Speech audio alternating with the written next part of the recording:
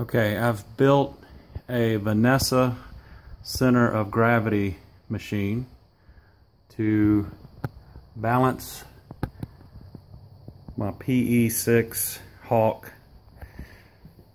plane and the problem is the amount of weight that this is saying that I need to add to the front. You see that's a battery uh, which is absurd. I'm not going to do that. But just the point that that's the only way to get to center of gravity, which is right there, five and, five and seven eighths from the leading edge. Um, so obviously a problem if if I'm going to truly get to the center of gravity on this plane before I fly it.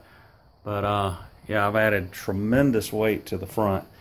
And the thing is, is the the back is completely stock. I haven't. There's not a. There's not a lot of batteries or anything uh, extra on here. It does have a smoke kit, but um, that's all on the front end. So I don't know. That's it's concerning.